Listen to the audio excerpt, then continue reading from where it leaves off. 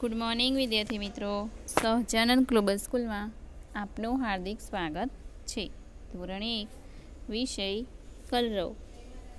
એકમ સાત, ચપટી વાગી. વિદ્યાર્થી મિત્રો, આપણે અગાઉ ભણી ગયા છે. શું ભણી ગયા? તો કાવ્યનું ગાન. કાવ્યને સમજ્યા. ત્યાર પછી આગળ આપણે શીખ્યા કે પ્રશ્નોના જવાબ. કાવ્ય પરથી આપણે પ્રશ્નોના જવાબ પણ શીખી ગયા છે. ત્યાર પછી ઓળખો અને રંગ પૂરો. એટલે કે મૂળાક્ષરને ઓળખીને રંગ પૂરવાનો હતો તેના પછી આપણે તમારા ઘરમાં કોણ કોણ રહે છે? તે ચિત્ર જોડો, કહો. ચિત્રોને અવલોકન કરીને કહેવાનું હતું.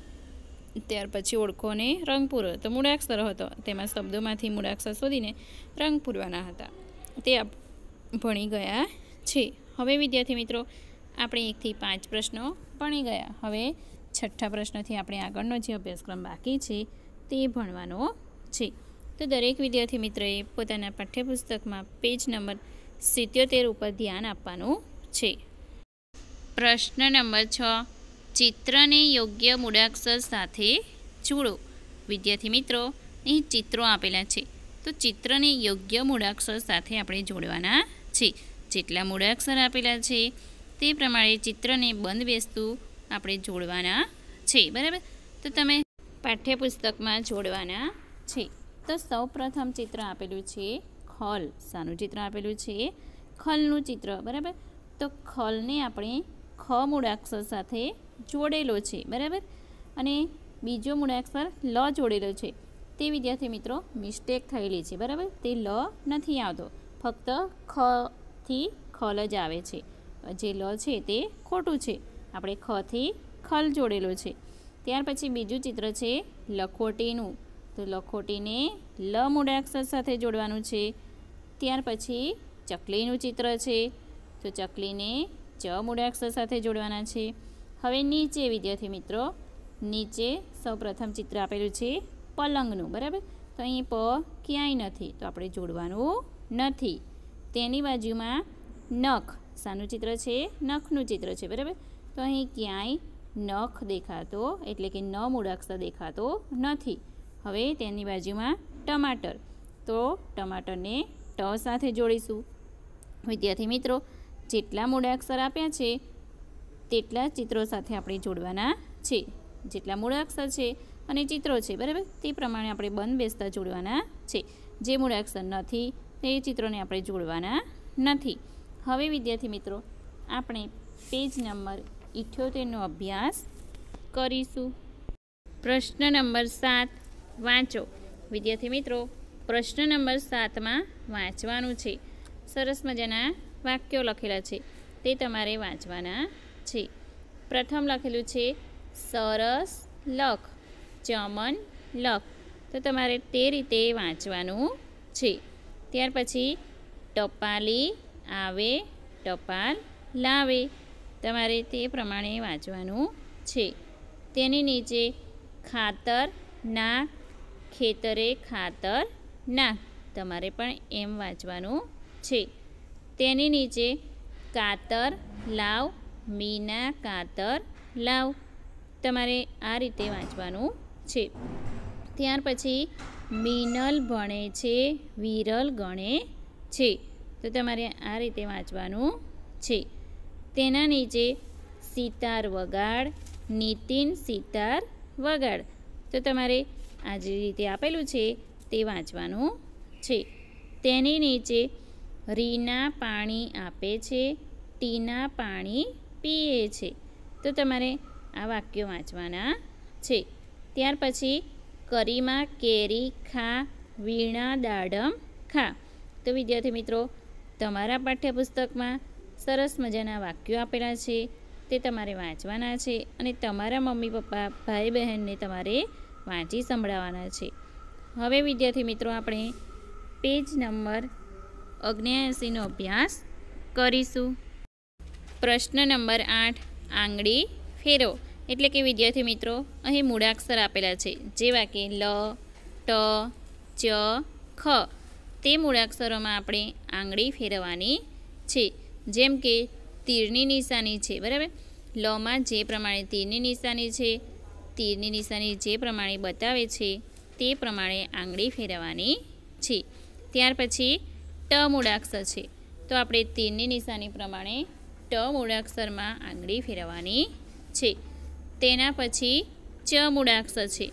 તો ચ મૂળાક્ષરમાં પણ આપણે તે જ રીતે આંગળી ફેરવવાની છે. ત્યાર પછી ખ મૂળાક્ષર છે. તો ખ મૂળાક્ષરમાં પણ તીરની નિશાની આપેલી છે. તો તીરની નિશાની પ્રમાણે આંગળી ફેરવવાની છે. વિદ્યાર્થી મિત્રો, તમારે પણ તમારી ચોપડીમાં આ રીતે જે મૂળાક્ષરો છે, લ, ટ, ચ અને ખ, તો તમારે આ રીતે આંગળી ફેરવવાની છે. હવે વિદ્યાર્થી મિત્રો, આપણે આ મૂળાક્ષરો કઈ રીતે લખશું? બરાબર? તે આપણે નીચે જોઈએ. પ્રશ્ન નંબર નવ. પ્રશ્ન નંબર નવમાં લખો. સૂચના આપેલી છે, લખો. તો તમે જોઈ શકો છો અહીં, લ મૂળાક્ષર છે. તો લ કઈ રીતે લખ્યો છે? સૌપ્રથમ અડધો લ અને તેમ આગળ જતાં આખો લ પૂર્ણ થઈ જાય છે. તો તમારે આ રીતે જે ઉપરની લીટીમાં લખેલું છે, તે જ પ્રમાણે નીચેની લીટીમાં તમારે મૂળાક્ષર લખવાનો છે. તેની નીચે અડધો ટ છે, બરાબર? અને આગળ જતાં આખો ટ બની જાય છે. તો વિદ્યાર્થી મિત્રો, જે નીચે લીટી આપેલી છે તેમાં તમારે આ રીતે ટ મૂળાક્ષર લખવાનો છે. તેના પછી ચ મૂળાક્ષર છે.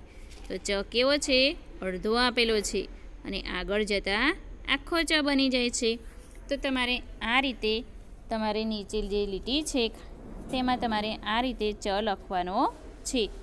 તેના પછી ખ મૂળાક્ષર છે. તો ખ કયો છે? અડધો છે. અને આગળ જતાં આખો બની જાય છે. તો તમારે નીચે લીટી આપેલી છે, તેમાં તમારે ખ મૂળાક્ષર લખવાનો છે. તો વિદ્યાર્થી મિત્રો, તમારે લ મૂળાક્ષર, ટ મૂળાક્ષર, ચ મૂળાક્ષર અને ખ મૂળાક્ષર લખવાનું છે. ત્યાર પછી વિદ્યાર્થી મિત્રો, અહીં રસોઈ અને દીર્ઘઈ, એક માત્ર, બે માત્ર આપેલા છે, બરાબર? તો તમારે તે જ રીતે ખાનામાં લખવાનું છે. તેને નીચે ઘટાક્ષરથી લ છે અને ત્યાર પછી ટપકાવાળો લ છે. તો તમારે પેન્સિલથી તે લ પૂર્ણ કરવાનો છે અને ખાનામાં નીચે લખવાનું છે. ત્યાર પછી વિદ્યાર્થી મિત્રો, ટ વર્ણ છે, બરાબર? એટલે કે ટ મૂળાક્ષર છે. તો ઘાટાક્ષરથી લખેલો છે અને ત્યાર પછી ટપકાવાળો ટ છે. તો તમારે પેન્સિલથી તે પૂર્ણ કરવાના છે અને નીચે ખાંડામાં ટ લખવાનો છે. ત્યાર પછી ચ છે, બરાબર? તો ચ કેવો છે? ઘાટાક્ષરથી લખેલો છે અને સામે ટપકાવાળા ચ છે. તો તમારે પેન્સિલથી તે ચ પૂર્ણ કરવાનો છે અને નીચે ખાનામાં ચ મૂળાક્ષર લખવાનો છે. તેની નીચે ખ મૂળાક્ષર છે. ખ પણ ઘાટા અક્ષરથી લખેલો છે અને નીચે એની સામે ટપકાવાળા ખ છે.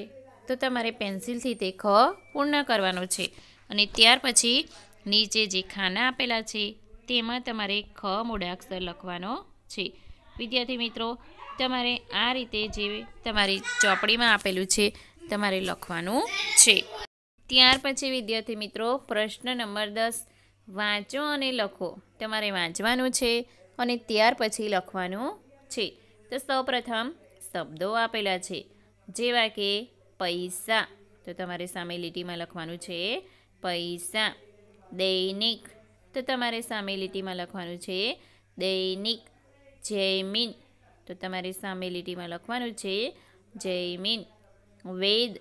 તો તમારે સામે લીટીમાં લખવાનું છે વેદ ચૈતર. તો તમારે સામે લીટીમાં લખવાનું છે ચૈતર. સૈનિક. તો તમારે સામે લીટીમાં લખવાનું છે સૈનિક. એરાવત. તો તમારે સામે લીટીમાં લખવાનું છે એરાવત. નૈના. તો તમારે સામે લીટીમાં લખવાનું છે નેના. ત્યાર પછી વાક્યો છે તે કૈલાસ છે. બરાબર? તો નીચે તમારે લીટીમાં લખવાનું છે, તે કૈલાસ છે. ત્યાર પછી વેદ દવા આપે છે. તો તમારે સામે, એટલે કે નીચે લીટીમાં લખવાનું છે કે વેદ દવા આપે છે. તેને નીચે વાક્ય છે, નૈતિક પૈસા ગણે છે. તો તમારે નીચે લીટીમાં લખવાનું છે, નૈતિક પૈસા ગણે છે. ત્યાર પછીનું વાક્ય છે સૈનિક આવે છે. તો તમારે લીટીમાં લખવાનું છે, સૈનિક આવે છે. વિદ્યાર્થી મિત્રો, તમારે પણ આ રીતે વાક્યો વાંચવાના છે, લીટીમાં લખવાના છે, ત્યાર પછી શબ્દો પણ ઉપર આપેલા છે, તે પણ વાંચવાના છે અને લીટીમાં લખવાના છે. ત્યાર પછી વિદ્યાર્થી મિત્રો, પ્રશ્ન નંબર અગિયાર. સાંભળો અને જવાબ લખો. પ્રશ્ન અગિયારમાં શું છે? સાંભળો અને જવાબ લખો. એટલે કે તમારે સાંભળવાનું છે અને ત્યાર પછી જવાબ લખવાનો છે. એટલે કે તમારે વાંચવાનું પણ છે. અને વાંચશો તો જ ખબર પડશે કે જવાબ શું આવશે. બરાબર? તો તમારે સાંભળવાનું, બરાબર? એટલે કે તમારા, તમને વાંચતા ના ફાવતું હોય તો તમારા મમ્મી, પપ્પા સમક્ષ તમારે વંચાવવાનું અને ત્યાર પછી સાંભળવાનું અને પછી તમારે જવાબ આપવાનો છે. બરાબર? તો પ્રથમ છે દિવાળીએ આવે છે, મીઠાઈ કપડાં લાવે છે. બાના એ ભાઈ છે, બોલો એ કોણ છે? શું કહે છે? દિવાળીએ એ આવે છે, મીઠાઈ કપડાં લાવે છે. બાના એ ભાઈ છે, બોલો એ કોણ છે? તો વિદ્યાર્થી મિત્રો, બાના ભાઈને શું કહેવાય? મામા કહેવાય. તો આપણે ખાનામાં જવાબ લખવાનો છે, મામા. હવે તેની બાજુમાં મને કહે છે બેબી, મમ્મીને કહે છે ભાભી, પપ્પાને કહે છે મોટા ભાઈ, બોલો એ મારા કોણ થાય? અહીં શું કહે છે? મને કહે છે બેબી, મમ્મીને કહે છે ભાભી, પપ્પાને કહે છે મોટા ભાઈ બોલો, એ મારા કોણ થાય? તો વિદ્યાર્થી મિત્રો, પપ્પાના ભાઈ છે. તેને આપણે શું કહીશું? કાકા. તો આપણે ખાનામાં જવાબ લખવાનો છે, કાકા. તમારે પણ આ રીતે જવાબ લખવાનો છે. ત્યાર પછી વિદ્યાર્થી મિત્રો, આગળ. હાથે લાકડી, આંખે ચશ્મા. સૌથી મોટા છે એ ઘરમાં. પપ્પાના એ પપ્પા થાય. બોલો, એ મારા કોણ થાય અહીં શું કહે છે? હાથે લાકડી, આંખે ચશ્મા. સૌથી મોટા છે એ ઘરમાં. પપ્પાના એ પપ્પા થાય. બોલો, એ મારા કોણ થાય? તો વિદ્યાર્થી મિત્રો, આપણા જે પપ્પા છે, બરાબર? એટલે કે તમારા પપ્પા. એમના પપ્પાને શું કહેવાય? તો દાદા કહેવાય. શું કહેવાય? દાદા. તો તમારે અહીં જવાબ લખવાનો છે દાદા. શું જવાબ લખવાનો છે? દાદા. વિદ્યાર્થી મિત્રો, આજના આ વિડીયોમાં આપણે શું ભણ્યા? બરાબર? તો આજના આ વિડીયોમાં આપણે ભણ્યા ચિત્રને યોગ્ય મૂળાક્ષર સાથે જોડો. ચિત્રો આપેલા હતા અને કેટલાક મૂળાક્ષરો આપેલા હતા, બરાબર? તો ચિત્રોમાં જે બંધ બેસતા મૂળાક્ષરો છે તે આપણે જોડ્યા છે. ત્યાર પછી વિદ્યાર્થી મિત્રો, આગળ શું ભણ્યા આપણે? તો આગળ આપણે શીખ્યા કે વાંચો, બરાબર? વાક્યો જે આપેલા હતા, તે વાંચવાના હતા. સરસ મજાના વાક્યો આપેલા છે. તો તમારે તે વાક્યો સરસ મજાના વાક્યો છે તો વાંચવાના છે. ત્યાર પછી આંગળી ફેરવો. જે મૂળાક્ષરો આપેલા હતા, ટ, લ, ચ, ખ, તે મૂળાક્ષરો પર આંગળી ફેરવવાની હતી. અને ત્યાર પછી લખો. તો તે જ મૂળાક્ષર સૌપ્રથમ અડધો લ, પછી આખો લ, અડધો ટ પછી આખો ટ, અડધો ચ, ત્યાર પછી આખો ચ, અડધો ખ, ત્યાર પછી આખો ખ. તે રીતે તમારે ખાનામાં લખવાનું છે. ત્યાર પછી રસવઈ દીર્ઘય એક માત્ર, બે માત્ર. તે પણ આપણે ભણી ગયા છે, બરાબર? તે પણ તમારે ખાનામાં લખવાનું છે, તમારા પાઠ્યપુસ્તકમાં. ત્યાર પછી વિદ્યાર્થી મિત્રો, પ્રશ્ન દસમાં વાંચો અને લખો. એટલે કે પ્રશ્ન દસ આપેલો હતો. તેમાં વાક્યો હતા અને શબ્દો હતા. તે વાંચવાના હતા અને ત્યાર પછી લખવાના હતા. તે પણ આપણે ભણી ગયા છે ત્યાર પછી આપણે છેલ્લે પ્રશ્ન અગિયારમાં સાંભળો અને જવાબ આપો. તમારે સાંભળવાનું હતું અને ત્યાર પછી જવાબ આપવાનો છે. એટલે કે તમારા મમ્મી પપ્પાને કહેવાનું, બરાબર? એ તમને પૂછશે, ઉખાણા છે? બરાબર? કોયડા, ઉખાણા છે, બરાબર? તો તમને પૂછશે કે એ બોલશે, બરાબર? અને તમારે પછી જવાબ આપવાનો છે અને તે જવાબ પછી તમારે જે ખાના આપેલા છે તેમાં તમારે લખવાનો છે. વિદ્યાર્થી મિત્રો, આ વીડિયો તમારે ધ્યાનથી સાંભળવાનો છે, સમજવાનો છે.